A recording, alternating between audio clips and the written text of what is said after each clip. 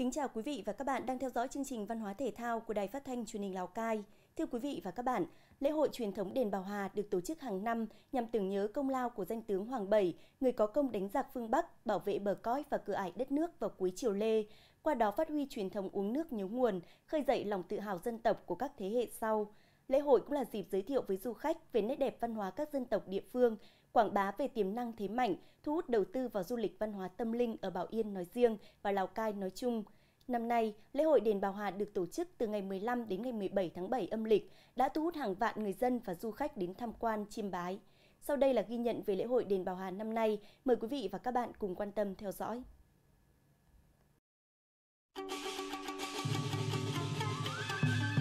Đến hẹn lại lên, cứ vào dịp rằm tháng 7 hàng năm, hàng vạn người dân huyện Bảo Yên cùng du khách thập phương lại nôn nức đổ về dự hội đền Bảo Hà.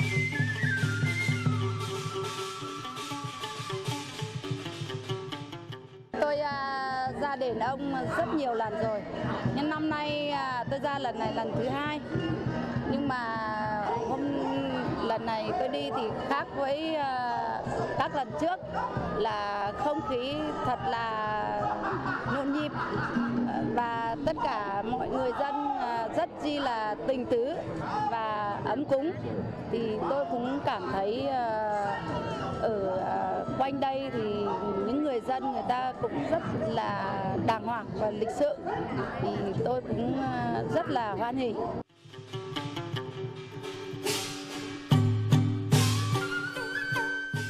Đền Bảo Hà, tọa lạc bên tả ngạn sông Hồng là nơi thờ danh tướng Hoàng Bảy, người có công dẹp giặc phương Bắc, giữ yên bờ cõi. Ông trở thành nhân vật huyền thoại có 102 trên miền biên cương Tây Bắc, được các vua minh mệnh, thiệu trị triều Nguyễn, sắc phong là thần vệ quốc, được các thế hệ con cháu ngưỡng vọng, thờ phụng. Đền thờ ông như một cột mốc văn hóa miền biên cương là hồn cốt tạo nên sự linh thiêng.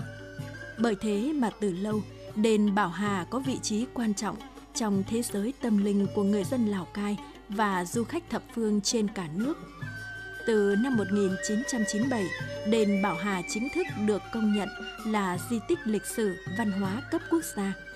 Cũng từ đó đến nay, đền được trùng tu tôn tạo không những về cơ sở vật chất mà còn phục dựng các phong tục, nghi lễ, trò chơi dân gian truyền thống trong ngày hội để phục vụ nhân dân và du khách thập phương.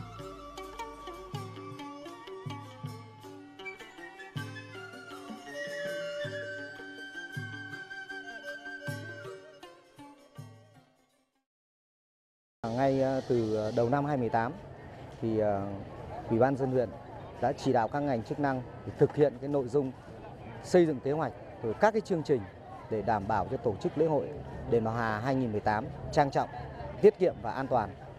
Thế và đến với lễ hội năm nay thì có thể nói rằng du khách cũng như là bà con nhân dân thấy rất vui mừng bởi một cái không gian lễ hội thay đổi so với nhiều năm trước.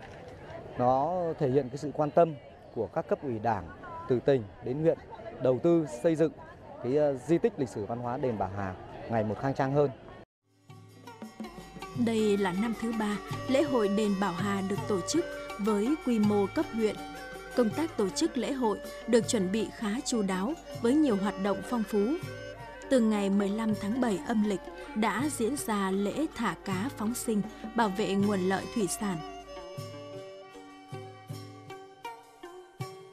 Buổi tối cùng ngày là lễ cầu an, thả đèn hoa đăng trên sông Hồng.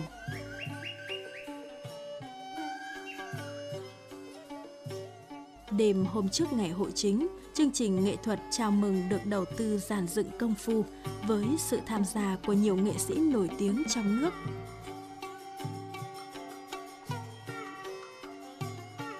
Sáng hôm sau, ngày chính lễ diễn ra trang trọng với lễ rước kiệu từ đền Cô Tân An về đền ông Hoàng Bảy. Lễ rước kiệu với đầy đủ các lễ vật, nhiều thành phần dân chúng tham gia. Đoàn múa lân đánh trống dẫn đầu cho nghi thức rước làm cho không khí ngày hội thêm sôi động và hàm chứa yếu tố linh thiêng. Sau đó là lễ khai mạc được tổ chức trang trọng với màn sử thi tái hiện quá trình đánh giặc ngoại xâm, xây dựng và bảo vệ quê hương của danh tướng Hoàng Bảy, cùng nhiều tiết mục văn nghệ được giàn dựng công phu.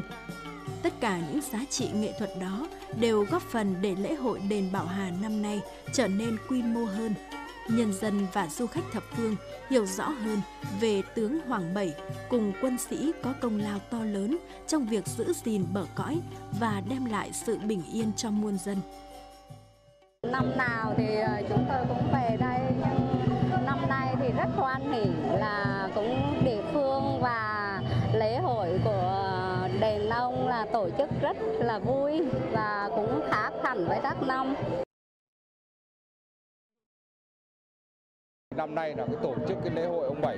Thì cái hợp tác xã Hòa hợp nhất đã triển khai về cái gian hàng hồng không hạt của bà Hòa. Thì cho đến từ ờ, ngày 12 cho đến nay là các cái khách thập phương cũng như là các tỉnh ờ, trong nước cũng như là ngoài nước cũng đã đến ờ, lễ đền ông Bảy mà mang lại cái kiểu quả hồng không hạt, của Bảo hà rất là có uy tín và hiện nay các ờ, trong mấy ngày hôm nay là các khách hàng đều đến cái chỗ gian hàng để làm điểm cũng như là thử nghiệm các cái quả hồng không hạt là hiện nay là các cái đánh giá của các khách thập phương đều ca ngợi về cái hồng không hạt của Bảo Hà. Theo ban tổ chức lễ hội đền Bảo Hà, trong 3 ngày diễn ra lễ hội, có khoảng 10.000 du khách đã đến đền tham quan, chiêm bái.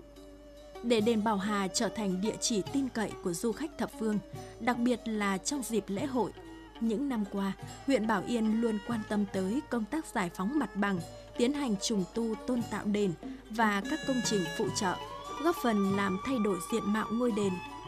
Tình trạng lộn xộn, ùn tắc giao thông, mất an ninh trật tự, lấn chiếm lòng đường, trèo kéo khách cũng đã được giải quyết triệt để. Du khách đến với đền ông chấp hành tốt quy định của nhà đền, không xô đẩy, chen lấn, thắp hương trong đền, tạo không khí trang nghiêm, lành mạnh. Những ngày vừa qua, à, chương trình nội dung lễ hội diễn ra theo đúng kế hoạch. À, các nội dung được tiến hành một cách chú đáo, chặt chẽ và có sự hợp đồng rất là nhịp nhàng. Giờ phút này có thể nói là cái, cái lễ hội năm 2018 được tổ chức rất là chặt chẽ và hoàn thành tốt. Lượng khách đến à, đền Bảo Hà năm nay à, so với những năm trước à, trong 2-3 ngày gần đây tăng đột biến rất cao.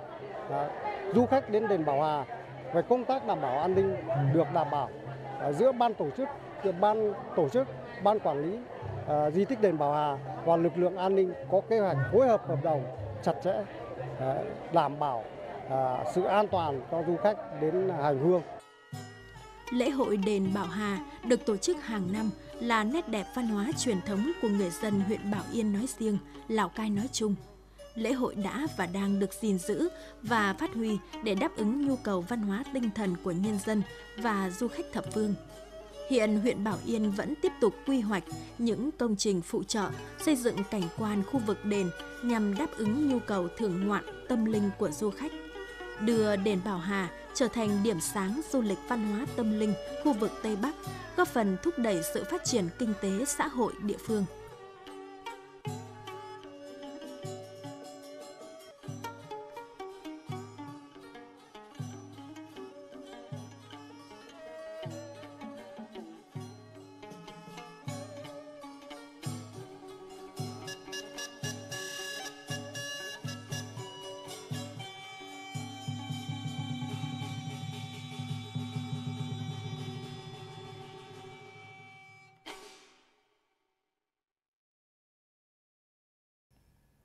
Chương trình văn hóa thể thao tuần này của Đài Phát thanh Truyền hình Lào Cai xin được tạm dừng tại đây. Cảm ơn quý vị và các bạn đã quan tâm theo dõi. Xin kính chào, tạm biệt.